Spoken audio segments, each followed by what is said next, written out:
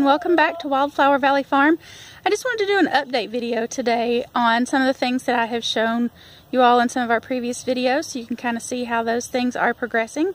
So I'm going to just kind of walk around and show you um, the chickens and the rabbits and when I get back inside I'll show you how the seed starting is coming along. The chickens, they are still working on the garden, diligently pulling my weeds for me. I just moved them so they have a fresh spot of new greens to work on today. They're enjoying that. And the garden itself, where they have been, you can see they've done an excellent job of clearing out most of the weeds. Some of the grass is trying to grow back in places where they have been, but that's okay. They did the hardest part of the work. So when I get ready to plant here very soon, there won't be as much for me to do. They did not do a great job of cleaning up the food scraps that I've been giving them, but that's because there's only two chickens and our household produces a lot more peelings and and eggshells and things like that than they are able to consume. Of course, it's not just peelings and eggshells. There was food scraps in there, and chickens can eat pretty much anything that humans can eat, and anything they can't eat, they will leave alone for the most part. I don't put anything in there that might be poisonous, but we really don't eat anything in our household that I'm aware of that would be poisonous for chickens. This is my raised bed. I had some plants here that I was trying to winter over, but those three weeks of freezing cold temperatures did not do well for my chard.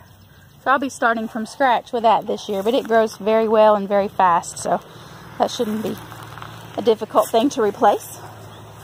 I am super excited to see green grass around the farm too. Even though this is weeds, it is greening up nicely. These are actually things that I will be able to feed to the rabbits.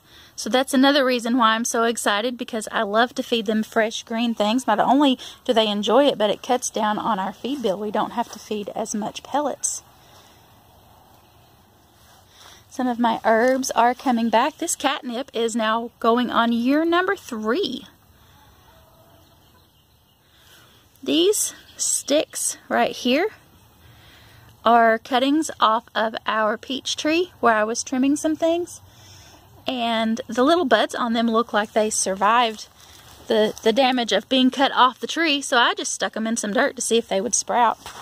Partly because I'm going to be severely cutting on this tree. It just got too big, bigger than I wanted it to be and it is casting too much shade on the garden. I'm going to be cutting it and because I have waited too long to do that, I should have done it back in January.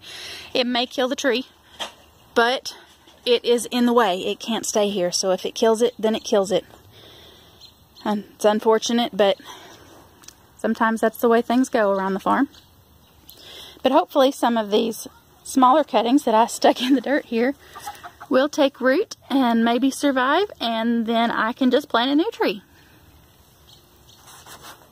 The rabbit that I was treating for ear mites, his ear is still droopy even though it's very clean inside. So I'm not sure if he is irritated by something in his ear or if it's just the scaly skin that he still has where the new skin and fur has yet to grow back on his ear. So um, just as a precaution, I am still treating him every other day with the olive oil to be sure that those ear mites do not come back. So hopefully his ear will clear up fairly soon. This is Casper and Bendy. Casper is our oldest cat. Bendy is not far behind him. They are the mousers on the farm. We have a few other stray cats that I like to refer to as not my cats because I did not adopt them, but they have adopted me. That's okay. They're helping to keep the rodent population down, so they are welcome to stay here. The girls that I bought as part of that large rabbit purchase that I made over the weekend, they are super friendly. They enjoy being pet and touched. And I love the fact that they like to be pet. I like to have docile, tame rabbits and not wild, crazy rabbits. I've had some wild, crazy ones in the past, and they are not fun to work with. But these girls are very gentle and seem to very much enjoy being handled. which make them a lot easier to work with and make me super excited that I was able to get them. That'd be a great addition to my herd here. And then next to them are the babies. They seem to be thriving. They like the camera. The bowls that I put in here for their food did not work out very well because they kept sitting in the bowls and peeing and pooping in them. So I put J feeders here instead. And so far that's working out much better. They're not able to actually sit in the feeders. Can't really get a good shot of them here, but they're not able to sit in the feeders, which keeps them from using the bathroom in their food. So they don't waste anywhere near as much feed this way. It's very helpful.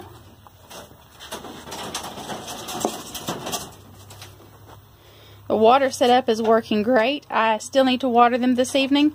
They um the bot these bottles are not leaking as bad as I was afraid they would. This bottle um is leaking enough that it is empty by the end of the day, but this bottle here is still half full from the day that I set this cage up. So it's really not leaking much at all, and that's a great thing.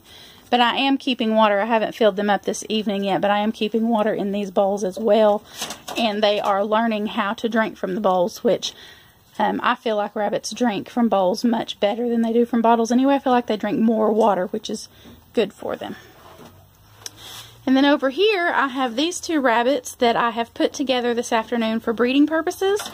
Um, they need to be supervised, so I'm staying close enough to make sure I'm aware of what they're doing. When you put two rabbits together to breed, you have to make sure that the doe does not attack the buck. That does happen sometimes. So I'm going to stay with them and supervise, but hopefully, um, a month from now, hopefully I'll be able to update you all on some babies. So the seeds that I started a few days ago are doing super well. We are on day four since I planted them.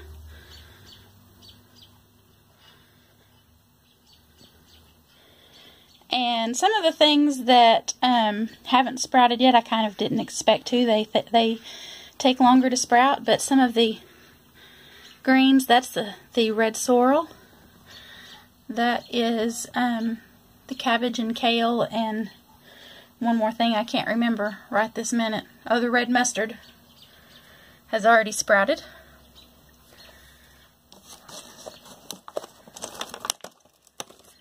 And there's a little green sprout of the kohlrabi right there as well.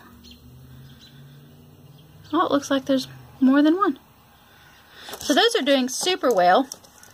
Some of these plastic containers got a little too hot, so I opened them up to let them air out, and I can close them if it turns off to be cooler weather like I think that it may next week.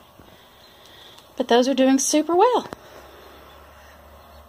So that is all for today's video. If you enjoyed it, click the like button down below, that thumbs up button. Of course, if you didn't enjoy it, feel free to click the thumbs down button instead. If you haven't already, click the subscribe button and the bell icon right beside it so that you will be notified whenever we upload something new. You can also visit us on our social media accounts at Facebook and Instagram, and I will put links to those in the description below. If you have any comments or questions about today's video, or even ideas and suggestions for more things that you would like to see from us around the farm in the future, comment those down below as well because we do read all of those. Thank you for watching, and I hope you all have a great day.